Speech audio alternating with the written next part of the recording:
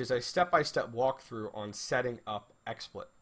Um, so I'm going to go ahead and paste in chat a guide on setting up XSplit if you guys have downloaded it. Uh, this is directly from Twitch. Um, this is a guide that I will be following a little bit here. I'm kind of going to be generalizing it a little bit. Won't be following it to a complete T, but uh, definitely will be discussing it. So let me go ahead and move over kind of my notes here.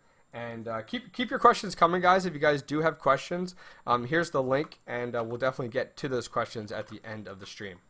So I'm going to go ahead and swap over here um, to full screen uh, right now, and as you can see here, um, this is you know what we're discussing right now um, with uh, you know kind of talking about OBS and XSplit and kind of what routes we want to go here uh, and what you know what directions we want to go ahead and pick up for you guys. So we're going to go ahead and discuss setting up XSplit.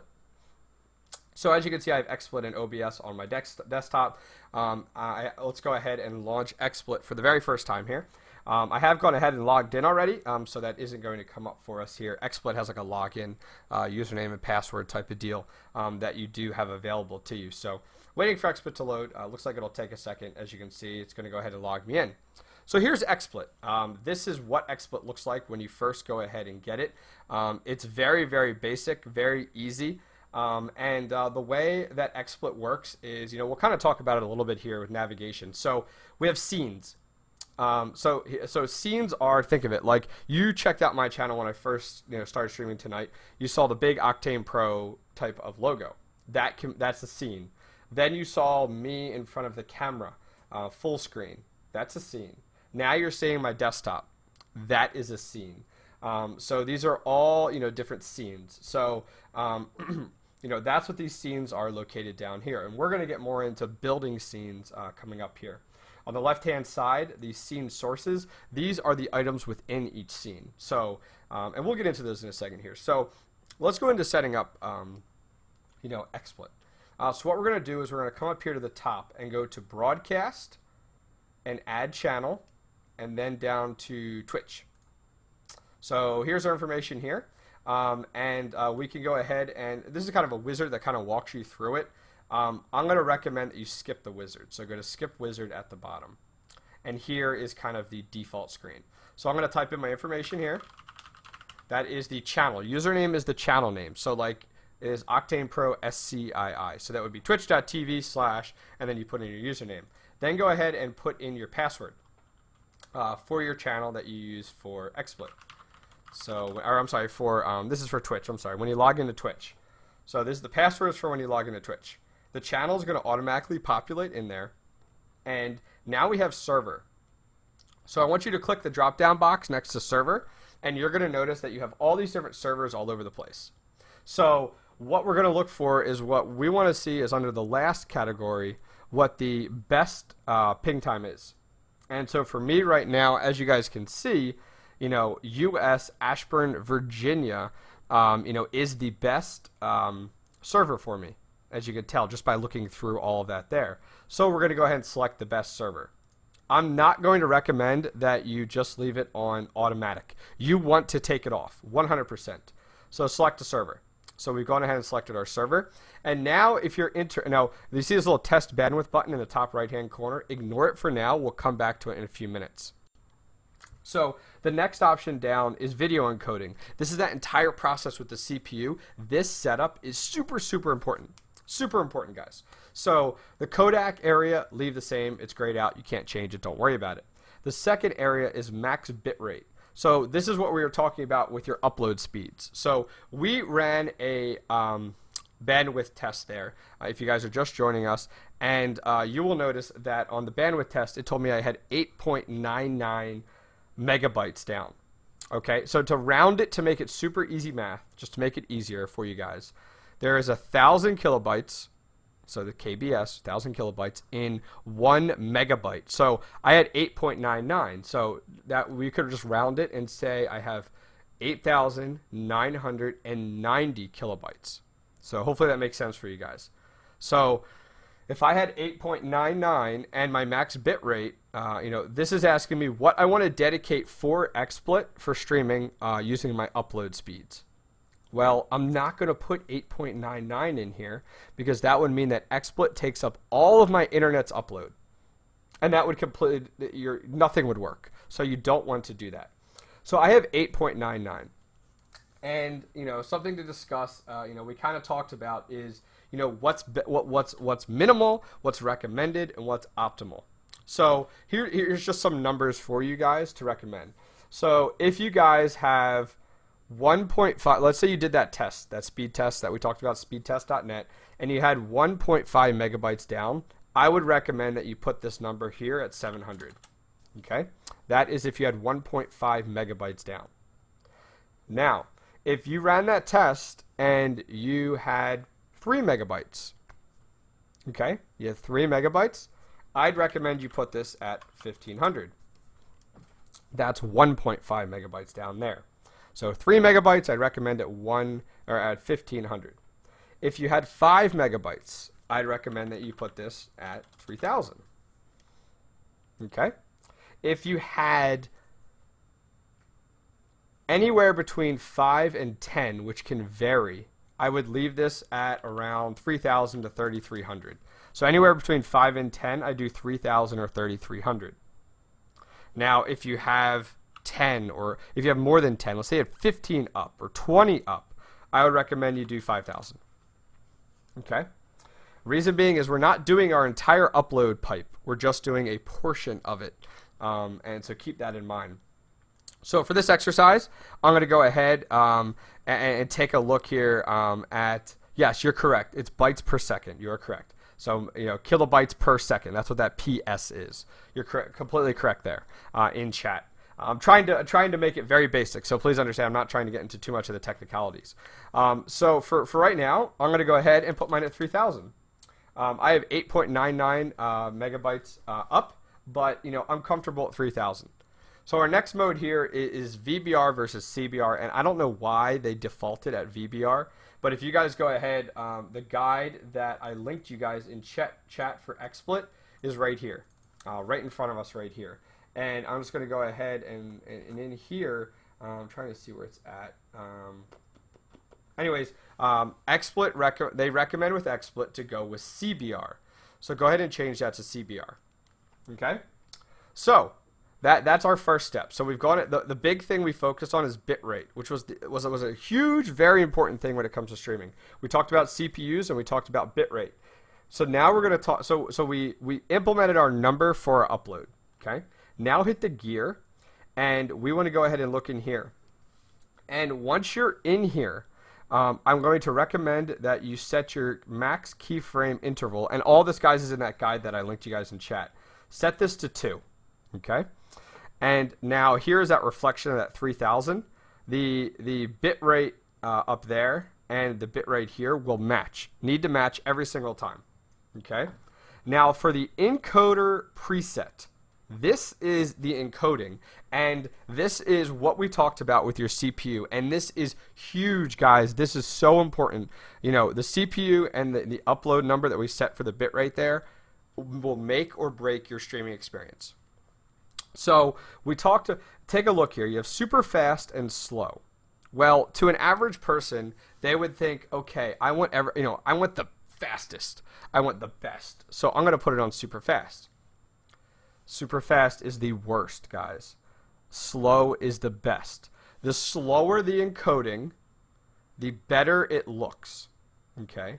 So let me say that again. The slower the encoding preset, the better it looks. So if you take a look here, the default is very fast. And there's a nice little pop-up that comes up. Under super fast, it says lowest compression, lowest CPU usage recommended for small CPU. So super fast is is something I would recommend for those of you guys that are trying to stream with a dual core. Um, and as I said before, the the slower the encoding, the better the quality. So super fast is not going to look very good, but guys, if you're if you're trying to stream with a dual core, um, you know you're not going to do much better than super fast, without a doubt. So now we have very fast, faster, fast, medium, and slow. So let's jump to the opposite side of the spectrum, slow. High, very high compression, very high CPU usage, don't use without a monster CPU. None of you out there have a monster CPU. I, want to put that out there right now. An i7 is not a monster CPU. That slow encoding is literally, you're looking at CPUs that, uh, motherboards that have dual sockets. So motherboards that support two CPUs, like two i7s could, could handle slow. No one else is going to handle that. I don't even run that, and I have a separate dedicated machine. Um, medium is very, very aggressive here. Even with an i7 series, I don't recommend it. Reason being is because of the amount of um, amount of your CPU that it is going to use. I'm going to recommend that if you have an i7, that you use fast. So if you're running an i7 series, I'm going to recommend that you use fast. Uh, you can get away with it right here. Now, these recommendations they have on here are great, but they're not literal. They, you know, it doesn't make sense. Um, you know, they're they're kind of like, hey, this is what we recommend, but it's not like real world tested with that data.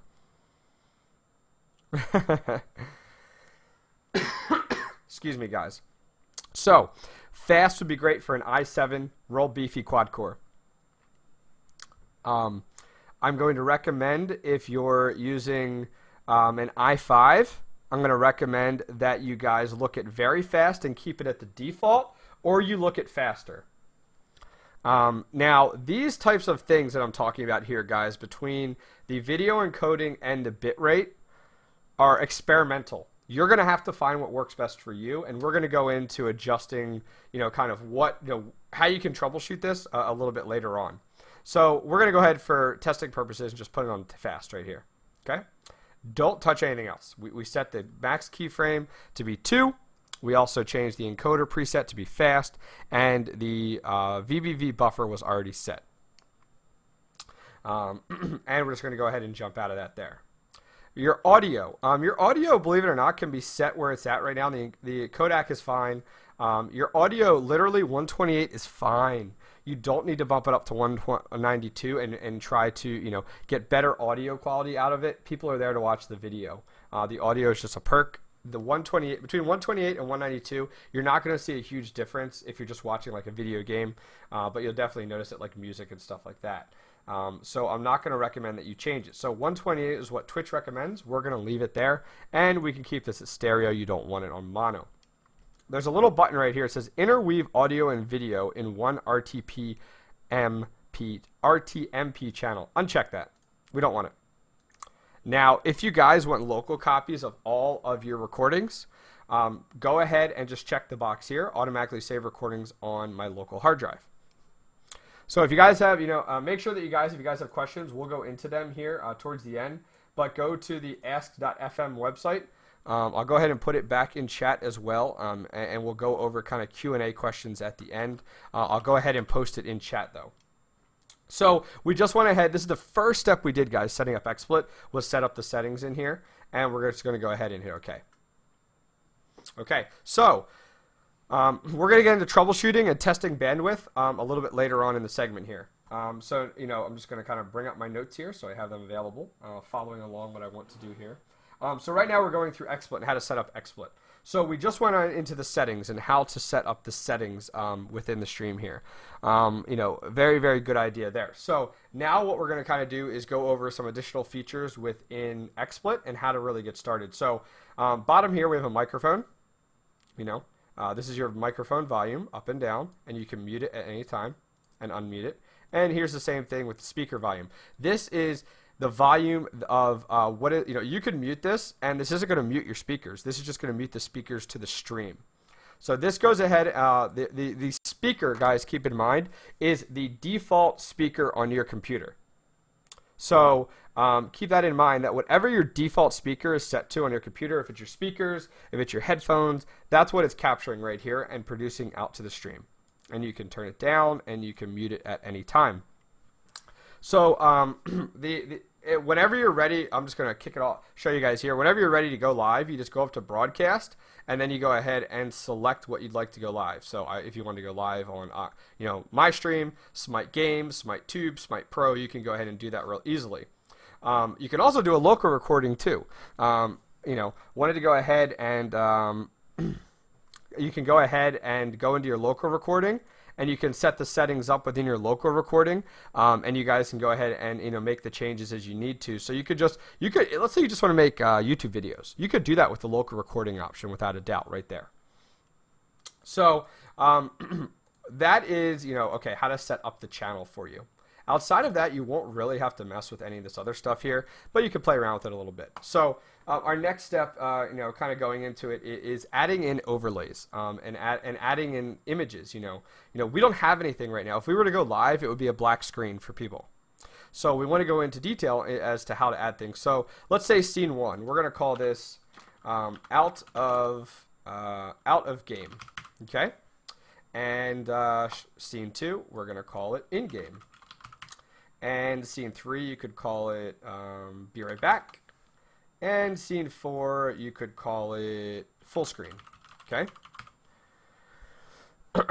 uh, yeah, guys, we'll be doing OBS after uh, this XSplit tutorial. So, um, we've gone ahead and named everything here. Um, now, see, you have all these scenes you can work with. We're not going to get into full details there. So, out of game. I go ahead and click on out of game, and nothing's happening, you know. Because if you look over here under uh, scene sources, it's just blank. So we need to add something. So let's go into add, and we're going to go into, um, you know, into, let's say we have a few different options here. Uh, yes, these will be posted on YouTube. Um, so we can add a camera. You can, now this is for out of game, so you can do a whole bunch of different things with overlays if you want to. But let's say we want to go ahead and let's add media. Okay, this is for out of game. And so it's going to ask us, okay, well, what do you want to add? And so I'm actually going to add um, an overlay up on here. I'm going to add one of the Smite Talk overlays. So this is just an image, guys. Okay. So let's go ahead and add an overlay here. When let's see, who do I want to pick? Let's pick. Uh, let's pick Squiiddish. Uh, we had Squiiddish on here. So let's go ahead and pick Squiiddish, and I'm going to hit OK. Now it just brought in. See, we have an image in here.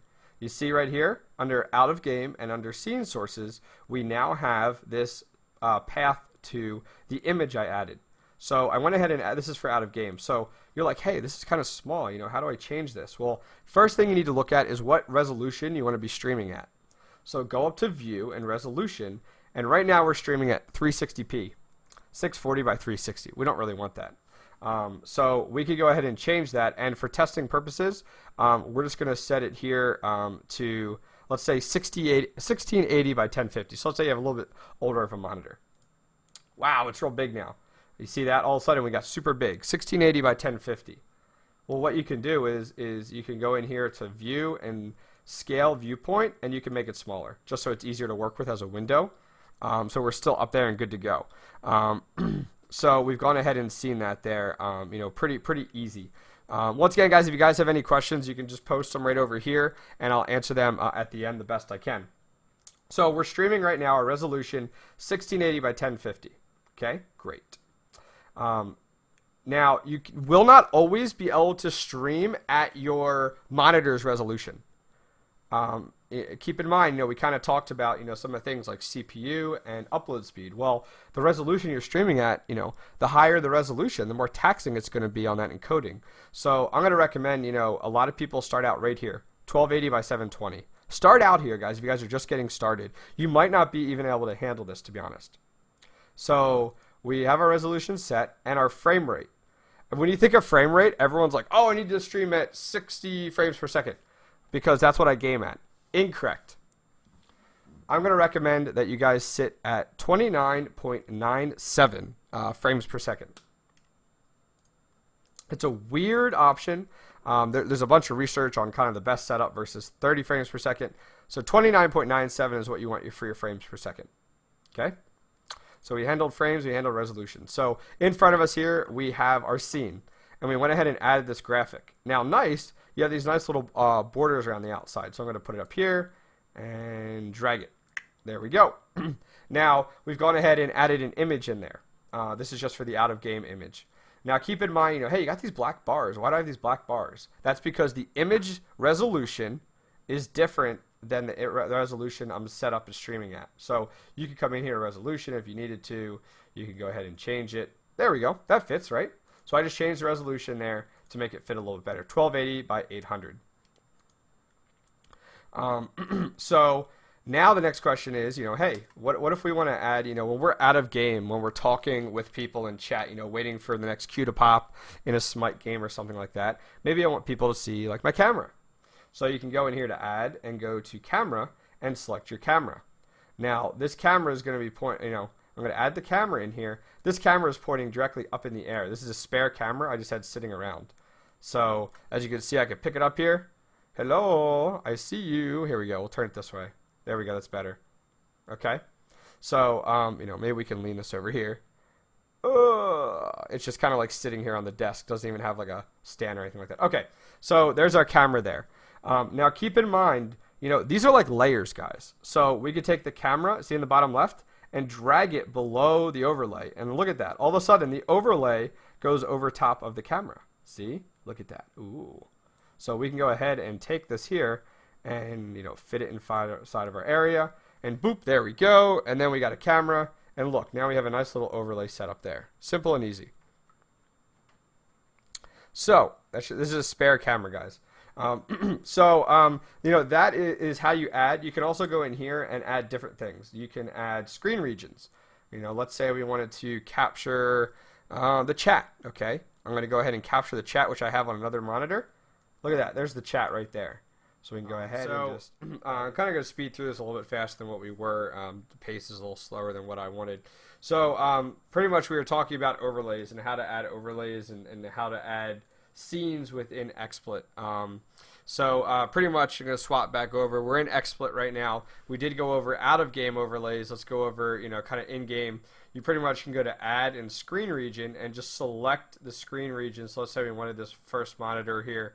Select the whole screen region and bam, it's stream inception.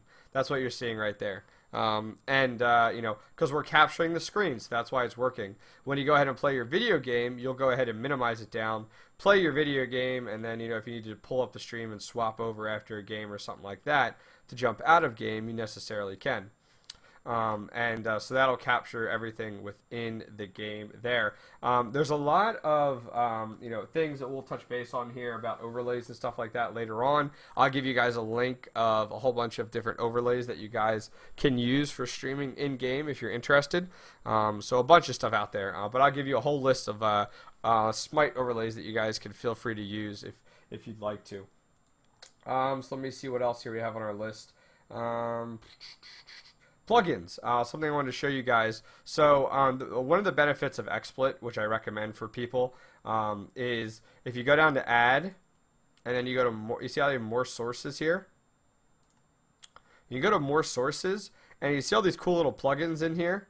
You can add them. So if you wanted to add a title, you know, you can install that and click it and install it, and then it adds it to one of your options down here. So now if we get out of here and go to add and title, we can now go ahead and say hello chat room. If I can spell chat room right. And hit OK. And now look, now it just added this text in there. So there's a lot of cool plugins um, within um, here. You can do add, more sources, and you have a bunch of other stuff. Image slideshow, a starboard, which is really good for StarCraft 2, a video playlist, which OBS does not have a video playlist at all, which is nice and a bunch of other stuff. So um, some cool features in there with XSplit. So um, there was a question that came in over Ask.fm regarding, um, you know, graphics cards. You know, we talked about CPUs. What about graphics cards? your graphics card has no effect on your stream, um, on, on your streaming process. Now, your graphics card is going to matter depending on the you know what quality that the graphics card is producing if you have a crappy graphics card, it's not going to look good for people that are watching it. Uh, if you have a good graphics card, you know, it's going to look better, but it has no effect like there's no transition. You know, it comes down to your CPU and your upload speed and then, you know, what type of resolution that you're streaming at. Do you think someone could make it as a popular streamer with 1.4 upload? No. You're not going to be able to set your um, uh, buffer and uh, that, that we talked about there within XSplit. And what I'm talking about is right here. Um, edit, and then you go into your channel. And right here, this bit rate here, you're not going to be able to set that bit rate. Like you think of it, you have 1.4 up. So you want to do about half of that if you're lucky, about 700 and you'll be lucky if you get by um, with you know not having stuff issues. So the next section I want to go into, guys, is going to be talking about how to troubleshoot issues within XSplit. Um, so let's say you go ahead and start streaming, and uh, at the very top of this bar here, right at the top, where it says XSplit Broadcaster at the very top area, you're going to see um, it light up red when you're streaming and it's going to tell you drop frames. And if you have people that are complaining, oh, it's lagging or you're getting drop frames everywhere, this is what you need to look at. First, what you need to do, guys, is right click on the bottom. Uh, if you're running Windows, go to Start Manager and bring up your, your uh, Task Manager. I'm sorry, Task Manager, and then click Performance. And the one thing you want to watch at is when you go ahead and start streaming and you're streaming and you get drop frames, take a look at this. Is your CPU getting maxed? Okay? If your CPU is maxing out, you want to come in here and go into your settings and hit the gear and you want to change this. Your your that means that your pre your encoding is too much for your computer to handle, and you need to go ahead and turn it down. Um, so you want to go ahead and go. Let's say we were on faster and our CPU was maxing out. You want to drop it down to one level if need be. Um, if you check your CPU usage and it's not maxing itself out, and you're wondering, hmm, you know, what else could it be? Um, it could be that you set your frame rate too high, that you came in here that it's you said it's a 60 frames per second when in reality I recommend 29.97. That could be a reason why you're getting drop frames um, or people are complaining of it lagging. Uh, another issue is you selected a resolution that's too aggressive. And you know when that CPU is maxed out, one it could be the encoding, or two it could be that your resolution is way too high. You know even though that you want to stream at 1280 by 800, maybe you need to stream at 960 by 600 because your computer just can't handle it. So that's another thing that you need to look at um, when you're having issues there. Uh, once again, you know, so what you want to you want to really bring up this task manager and you want to look at it and see, you know, what's maxing out. Finally, if your CPU is not maxing out at all, you're not having any issues, you need to come in here and your problem is your upload speed.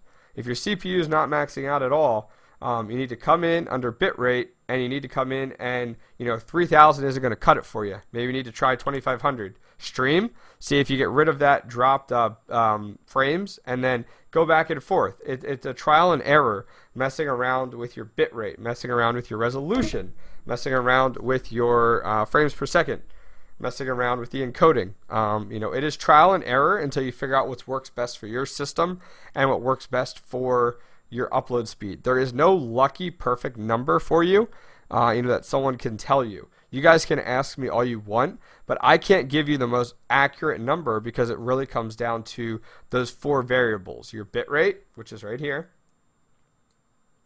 your encoding, which is right here,